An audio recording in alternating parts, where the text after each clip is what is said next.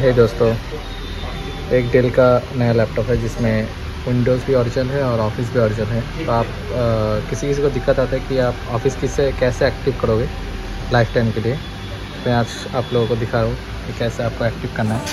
इससे पहले तो आपको स्टार्ट में क्लिक करना है। यहाँ आपको वार्ड इधर भी मिल जाएगा। वार्ड एक्सेल कुछ भी हो आप खोल लीजिए या फिर ऑल एप्स में जाइए।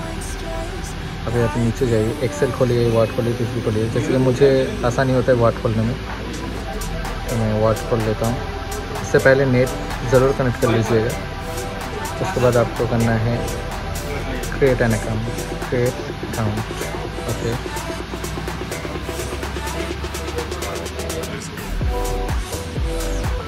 अभी आपको इधर एक यूज़र बनाना है यूज़र आईडी जैसे कि मेरा एक पुराना ईमेल आईडी है तो मैं उसको ही बना रहा हूँ अभी आउटलुक डॉट कॉम में। तो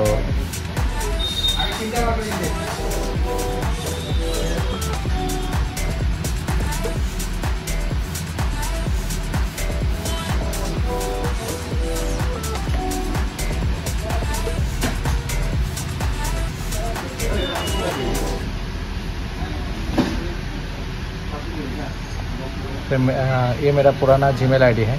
तो जी मेल में मैं at the rate Gmail dot com नहीं देके आउटलुक डॉट कॉम में बना रहा हूँ, ताकि मुझे याद रखें। एक पासवर्ड बनाइए, कुछ भी रैंडमली आपको जो पसंद आए। तो मैंने एक पासवर्ड बना लिया। अभी नेक्स्ट कर दीजिए।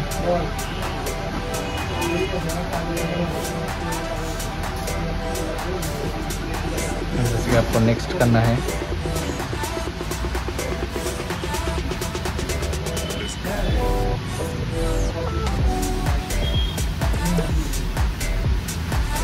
अभी आपका बन गया एक आईडी जो अभी तक ऑफ़िस को एक्टिवेशन किए नहीं। एक्टिवेशन करने से इधर का लोगो चेंज होता है मतलब ये ग्राफिक से चेंज हो जाता है।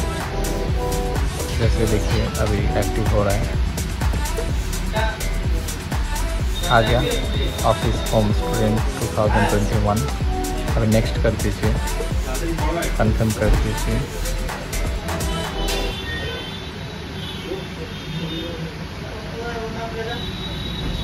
सक्सेस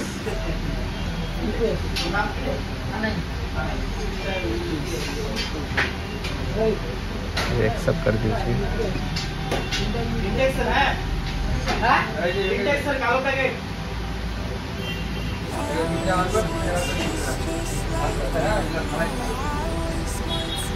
कुछ प्राइवेसी सेटिंग्स है।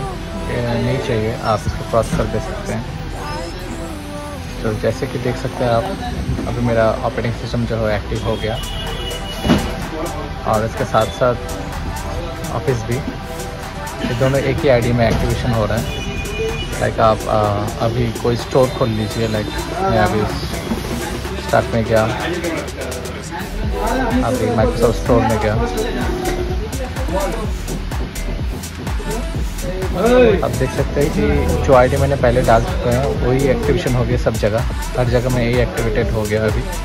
तो ई वाला आईडी पे आपका विंडोज़ ऑफ़िस सब कुछ एक्टिवेशन ले लिया।